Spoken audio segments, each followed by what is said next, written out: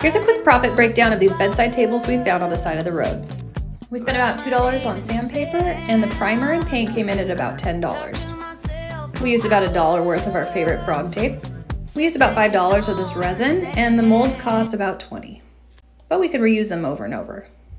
We used maybe a dollar worth of glue, and here's how they turned out. We spent $39 in 5 hours of work and sold for $425. We profited $386. If you like the transparency, follow for more.